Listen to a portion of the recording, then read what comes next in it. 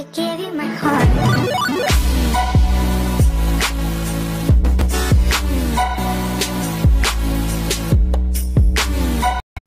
Hello viewers. Hope you all are healthy and sound. Viewers, as you know that we have been discussing research aptitude in our recent videos and we have covered the definitions, characteristics and few methods of research. So today in this video we are going to discuss few types of research on the basis of inquiry perspective. So let's begin. Viewers, when we talk about inquiry perspective, we carry out our research either by qualitative or by a quantitative method. Viewers इन दो methods को inquiry perspective से हम क्यों study करते हैं हम क्या investigate करना चाहते हैं तो अगर आप किसी फिनोमेना की किसी प्रॉब्लम की नेचर को इन्वेस्टिगेट करना चाहते हैं then you will carry out a qualitative research and if you want to investigate the extent of that problem then you will carry out a quantitative research means कि अगर आप किसी problem की nature uh, को investigate करना चाहते हैं उसका बिहेवियर देखना चाहते हैं तो आप क्वालिटेटिव रिसर्च को स्विच करेंगे and when you want to investigate the extent of that problem then you will switch to a quantitative research तो आज की वीडियो में हम क्वालिटेटिव रिसर्च को इन डिटेल स्टडी करेंगे. So qualitative research qualitative research को अनस्ट्रक्चर्ड रिसर्च भी कहा जाता है, क्योंकि इससे हासिल होने वाला जो डाटा होता है, वो अनस्ट्रक्चर्ड होता है, वो मेसी डाटा होता है। The qualitative research explores the nature of a research problem qualitative research में हम किसी भी प्रॉब्लम की नेचर को, उसके बिहेवियर को एक्सप्लोर करते हैं। फॉर एग्ज़ाम्पल हम रिसर्च करना चाहते हैं कि जब स्टूडेंट्स इंग्लिश लर्न करते हैं एज देयर सेकेंड लैंग्वेज तो उनको कौन कौन सी प्रॉब्लम्स फेस करनी पड़ती हैं? तो अब हम इस रिसर्च प्रॉब्लम की नेचर को इन्वेस्टिगेट करेंगे कि इंग्लिश सीखते हुए स्टूडेंट्स को प्रॉब्लम्स क्यों फेस करनी पड़ती हैं और कौन कौन सी प्रॉब्लम्स फेस करनी पड़ती हैं। Viewers qualitative research tends to explain how and why a particular phenomena और behaviour operates viewers qualitative research हमें बताती है कि second language that means English सीखते हुए स्टूडेंट्स को जो प्रॉब्लम्स फेस करनी पड़ती हैं, उनमें एक मेजर प्रॉब्लम होती है कि students do not get enough exposure to the language being learned उनको इंग्लिश सीखने के लिए प्रैक्टिस की बहुत ज़्यादा ज़रूरत होती है, जो कि स्टूडेंट्स को नहीं मिल पाती। स्टूडेंट्स प्रैक्टिस नहीं कर पाते, क्योंकि उनको एक प्रॉपर इन्वायरमेंट नहीं मिलता, ताकि वो ज़्यादा से ज़्यादा प्रैक्टिस कर सकें। अक्सर ऐसे होता है कि उनकी फैमिली और फ्रेंड्स कोऑपरेटिव नहीं होते, जिसकी वजह से लर्निंग में प्रॉब्लम होती है। Second problem can be the self confidence viewers, बहुत से स्टूडेंट्स की वोकेबलरी एंड एक्सेंट कुछ ख़ास अच्छा नहीं होता, इसलिए भी उनको लर्निंग में प्रॉब्लम होती है। अगर उन स्टूडेंट्स को कॉम्पिटेंट टीचर्स मिल जाते हैं, जो उनकी वोकेबलरी और एक्सेंट दोनों को डिवेल्प करवाते हैं तो दैट्स वेल एंड गुड। अगर कॉम्पिटेंट टीचर्स ना हों, वो कोऑपरेटिव ना हो तो स्टूडेंट्स को उनकी बातें ही समझ नहीं आती। और अक्सर ऐसे होता है कि वो ये उनके माइंड में बैठ जाता है कि it is not their cup of tea उनको उनकी वोकेबलरी नहीं समझ आती तो उनको स्टूडेंट्स को ये प्रॉब्लम होती है कि वोकेबलरी बहुत ज़्यादा टफ है और वो एक्सेंट नहीं अपना वैसा बना पाएँगे तो they lose their self confidence तो ये दो प्रॉब्लम्स होती हैं, या इंग्जाइटी हो जाती है मतलब कि वो किसी के सामने उस लैंग्वेज को प्रोड्यूस नहीं कर पाते तो ये प्रॉब्लम्स होती हैं जो कि स्टूडेंट्स को फेस करनी पड़ती हैं। When they learn English as their second language I hope कि आपको ये समझ आ गया होगा कि किस तरह हम क्वालिटेटिव रिसर्च के थ्रू ये इन्वेस्टिगेट करते हैं कि जो प्रॉब्लम्स या इश्यूज़ पैदा हुए हैं, उनकी रीजंस क्या हैं। It is use to gain an understanding of underlying reasons opinions and motivations तो व्यूअर्स क्वालिटेटिव रिसर्च करते हुए, जब हम पार्टिसिपेंट्स से अपनी रिसर्च प्रॉब्लम के बारे में उनकी ओपिनियंस लेते हैं तो हमें पता चलता है कि किसी प्रॉब्लम की रीज़न्स क्या हैं। पार्टिसिपेंट्स क्या ओपिनियंस शेयर करते हैं, क्या पॉसिबल वेज शेयर करते हैं to sort out the problem Its main aim is to understand the social realities of individuals, groups and cultures. तो व्यर्स क्वालिटेटिव रिसर्च हमें इंडिविजुअल्स ग्रुप्स एंड कल्चर की social realities को समझने में help करती है। इसका हम एक सिंपल सा एग्जांपल लेते हैं कि हम किसी कल्चर को समझना चाहते हैं। तो हम क्या करेंगे? हम क्वालिटेटिव रिसर्च करेंगे। हम आ, उस कल्चर के उस पर्टिकुलर कल्चर के लोगों से मीन्स के पार्टिसिपेंट्स के साथ मिलजुल कर रहेंगे, उनको ऑब्ज़र्व करेंगे, उनके बिहेवियर उनके ट्रेडिशंस उनकी हैबिट्स को ऑब्ज़र्व करेंगे, उसी कल्चर के इंडिविजुअल से इंटरव्यूज़ कलेक्ट करेंगे कंडक्ट करेंगे, ताकि हमें उस कल्चर की रियलिटीज़ पता चल सकें और उस कल्चर के बारे में हमारी एक अंडरस्टैंडिंग डेवलप हो सके। तो इसलिए कहते हैं कि जो क्वालिटेटिव रिसर्च होती है it helps to understand the social realities of groups individuals culture Qualitative research is empirical in nature. Viewers, empirical means based on experiences. Qualitative research empirical होती है क्योंकि इसमें इन्वेस्टिगेट की जाने वाली issues and problems real life problems होती हैं जो हम अपनी डेली लाइफ में एक्सपीरियंस करते हैं उन्हीं को हम क्वालिटेटिव रिसर्च में जांचते हैं व्यूअर्स जैसे कि मैंने अभी आपको दो एग्जांपल्स दिए learning English as a second language and understanding a particular pheno particular culture तो ये दोनों रियल लाइफ एग्जाम्पल्स हैं।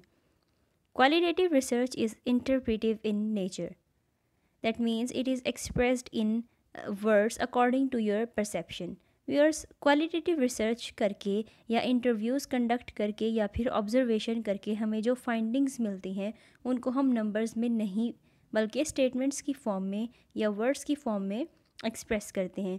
क्योंकि जो प्रॉब्लम की रीज़न्स हमें पता चलती हैं, वो बहुत सी रीज़न्स होती हैं और डिफरेंट होती हैं, इसलिए उनको नंबर्स में शो करना पॉसिबल नहीं होता। इसीलिए हम उन रीज़न्स को, उन स्टेट उन रीज़न्स को वर्ड्स की फॉर्म में या फिर स्टेटमेंट्स की फॉर्म में एक्सप्रेस करते हैं अकॉर्डिंग टू योर परसेप्शन यानी अपने पॉइंट ऑफ़ व्यू अपने पॉइंट ऑफ़ व्यू से उनको एक्सप्रेस करते हैं in the form of interpretations इसीलिए क्वालिटेटिव रिसर्च को इंटरप्रिटिव कहा जाता है। इंटरप्रीट का मतलब होता है बयान करना। The next point states that qualitative research is a naturalistic approach the subject being discussed depends upon every human but it is not fixed viewers आप जो भी रिसर्च करते हैं, जिस टॉपिक पर भी इन्वेस्टिगेशन करते हैं। उसके बारे में आपके पार्टिसिपेंट्स के व्यूज़ उनके कमेंट्स सेम नहीं होते। हर किसी का अपना एक पॉइंट ऑफ़ व्यू होता है और वो पॉइंट ऑफ़ व्यू जो है, वो वेरी करता रहता है ह्यूमन टू ह्यूमन वो फिक्स नहीं होता। जैसे मैंने आपको एक एग्जांपल दिया कि why learning English as a second language students face some problems and and we discussed two of them exposure to the language and self confidence viewers ये ज़रूरी नहीं है कि सब पार्टिसिपेंट्स को या फिर सब स्टूडेंट्स को इन्हीं दो प्रॉब्लम्स को फेस करना पड़ता हो। कुछ स्टूडेंट्स के साथ कोई और प्रॉब्लम भी हो सकती हैं और कुछ स्टूडेंट्स के साथ कुछ और प्रॉब्लम्स भी हो सकती हैं। और अगर तीन और चार स्टूडेंट्स को सेम प्रॉब्लम होंगी से suppose they are not getting enough exposure to language तो सबकी रीज़न्स डिफरेंट होंगी, क्योंकि उनको एक्सपोजर नहीं मिलता। सबकी व्यू पॉइंट्स डिफरेंट होंगे फिक्स नहीं होंगे। इसीलिए इस अप्रोच को हम नेचुरल अप्रोच कहते हैं। नेक्स्ट बात करते हैं कि it is carried out in natural settings viewers बहुत सी रिसर्च प्रॉब्लम्स ऐसी होती हैं जिनको पर्टिकुलरली किसी लैब में under the controlled conditions carry किया जाता है। यूजुअली साइंस रिलेटेड रिसर्चेस को हम लैब में ही कैरी आउट करवाते हैं। बट जो हमारी क्वालिटेटिव रिसर्च होती है वो सोच सोशल रिसर्च होती है क्योंकि इसमें हम प्रॉब्लम्स की नेचर को, उसके बिहेवियर को इन्वेस्टिगेट करते हैं एनालाइज करते हैं। तो उसके लिए हमें किसी पर्टिकुलरली किसी लैब की या फिर किसी कंट्रोल्ड कंडीशन की ज़रूरत नहीं होती। हम नेचुरल सेटिंग्स में ही अपनी इन्वेस्टिगेशन करते हैं। नेचुरल इन्वायरमेंट में प्रेजेंट फैक्टर्स को देखते हैं कि फैक्टर्स को देखते हैं, इसीलिए हमें किसी लैब की नीड नहीं होती। It systematically uses a predefined set of procedures to answer the question it means to say that for investigating any problem we have some predefined procedures we may either formulate a questionnaire or any other procedure to answer our research problem there are different methods to carry out a qualitative research The first one is participant observation, in which a researcher silently observes the participants. For example, knowing a culture जैसे मैंने आप पहले एक example दिया कि अगर हम किसी पर्टिकुलर कल्चर की सोशल रियलिटीज़ को जानना चाहते हैं तो हम क्या करेंगे? हम वहाँ पर पार्टिसिपेंट ऑब्जर्वेशन करेंगे। व्यूअर्स लोगों को हम साइलेंटली ऑब्ज़र्व करेंगे उनके बिहेवियर्स को नोट करेंगे। Second is in depth interviews इस प्रोसीजर में हम पार्टिसिपेंट्स को बुलाते हैं और इंडिविजुअली उनके इंटरव्यूज़ कंडक्ट करते हैं तो हमें हर किसी के हर किसी के इंडिविजुअली पॉइंट ऑफ़ व्यूज़ मिल जाते हैं इंटरव्यू के थ्रू हर पार्टिसिपेंट के अपने अपने पॉइंट ऑफ़ व्यू हमें मिल जाते हैं। Third one is focus group इस प्रोसेस में हम पार्टिसिपेंट्स को ग्रुप में डिवाइड करते हैं और अपनी फाइंडिंग्स गैदर करते हैं। फॉर एग्ज़ाम्पल हमने रिसर्च की on the topic effects of food deprivation on the concentration यानी अगर स्टूडेंट्स को फ़ूड ना दिया जाए तो उनकी कंसनट्रेशन लेवल पर क्या इफ़ेक्ट होगा? फोकस ग्रुप में कुछ पार्टिसिपेंट्स को हमने ट्वेंटी फोर आवर्स के लिए फ़ूड नहीं देते और ऑब्ज़र्व करते हैं कि वो अपनी स्टडीज़ पर कंसंट्रेट नहीं कर पाते। और दूसरे ग्रुप को हम ट्वेल्व आवर्स के लिए डिप्राइव रखते हैं। मींस कि उनको ट्वेल्व आवर्स के लिए कुछ भी खाने पीने को नहीं दिया जाता तो उनकी कंसंट्रेशन लेवल पर इतना इफ़ेक्ट नहीं पड़ता जितना कि उन स्टूडेंट्स पर या उस ग्रुप पर पड़ता है जिसको हमने ट्वेंटी फोर आवर्स के लिए डिप्राइव किया था। तो होप कि आपको ये समझ आ रहा होगा कि हम किसी प्रॉब्लम को इन्वेस्टिगेट करने के लिए किस तरह फोकस ग्रुप मेथड के ज़रिए अपनी प्रॉब्लम की नेचर को या रीजंस को इन्वेस्टिगेट कर सकते हैं। The next is by formulating a questionnaire questionnaire में रिसर्चर अपनी प्रॉब्लम से रिलेटेड क्वेश्चंस फॉर्मुलेट करते हैं और पार्टिसिपेंट्स में डिस्ट्रीब्यूट कर देते हैं। पार्टिसिपेंट्स अपने पर्सपेक्टिव के थ्रू अपने पॉइंट ऑफ़ व्यू के थ्रू आंसर करते हैं और दोबारा रिसर्च को रिसर्चर को वो सबमिट करवाते हैं। तो व्यूअर्स ये डाटा कलेक्शन के कुछ मेथड्स थे जो कि एक रिसर्चर अपनी रिसर्च को इन्वेस्टिगेट करते हुए, अपनी रिसर्च कंडक्ट करते हुए सेलेक्ट कर सकते हैं। Next it says that in qualitative research the context is necessary इसका मतलब ये है व्यूअर्स के रिसर्चर को कॉन्टेक्स्ट का ख्याल रखना चाहिए। जिस चीज़ के बारे में रिसर्च की जा रही है, उसी पर फोकस करना चाहिए। व्यूअर्स क्वालिटेटिव रिसर्च में डिफरेंट इंटरप्रिटेशंस मिलती हैं लेकिन कॉन्टेक्स्ट को माइंड में रखना बहुत ही ज़्यादा ज़रूरी होता है। रिसर्चर को अपने टॉपिक एरिया से बाहर नहीं निकलना चाहिए। Next it says that the interpretations must be relevant and meaningful viewers context and meaningful दोनों बातें इंटर रिलेटेड हैं। यानी क्वालिटेटिव रिसर्च में रिसर्चर को अपनी इंटरप्रिटेशंस को रेलिवेंट रखना चाहिए। उसकी इंटरप्रिटेशंस मीनिंगफुल होनी चाहिए। मतलब कि जो प्रॉब्लम इन्वेस्टिगेट हो रही है रिसर्चर को उसी के मुताबिक मीनिंगफुल एक्सप्लेनेशंस प्रेजेंट करनी चाहिए। There must be a good relation between participants and researcher viewers एक अच्छी क्वालिटेटिव रिसर्च तभी होगी जब पार्टिसिपेंट्स और रिसर्चर के बीच अच्छा रिलेशन होगा। दोनों साइड्स कोऑपरेटिव होंगी।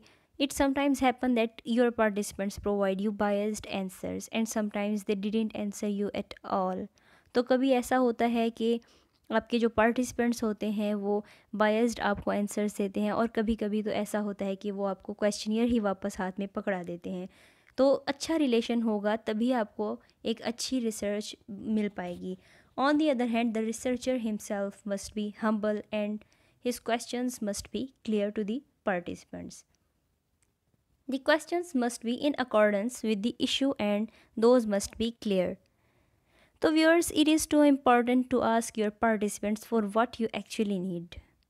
जिस चीज़ को आप जांचना चाहते हैं जिस चीज़ को आप इन्वेस्टिगेट कर रहे हैं आपके क्वेश्चंस uh, भी उसी से रिलेटेड होने चाहिए। यहाँ पर वही आपको कॉन्टेक्स्ट की इम्पोर्टेंस और मीनिंगफुल इंटरप्रिटेशन वाली बात रिमाइंड करवाई जा रही है।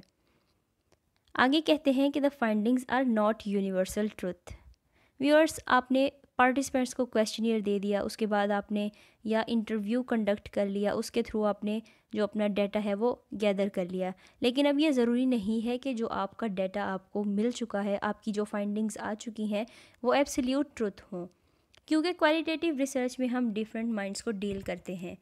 पार्टिसिपेंट्स uh, के अपने अपने व्यू पॉइंट्स होते हैं और वो उन्हीं के हिसाब से हमें इंटरप्रिटेशंस पेश करते हैं। उन्हीं के हिसाब से वो हमें इंटरव्यू में आंसर करते हैं। उन्हीं के आ, मतलब डिफरेंट पॉइंट ऑफ़ व्यू से वो क्वेश्चनियर को फिल करते हैं तो ज़रूरी नहीं है कि वो, कि आपके पॉइंट ऑफ़ व्यू से वो भी एग्री करते हों।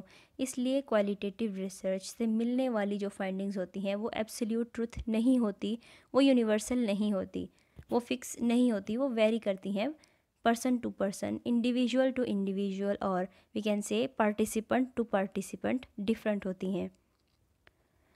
It presents messy analysis it means the same कि फाइंडिंग्स वेरी करती हैं।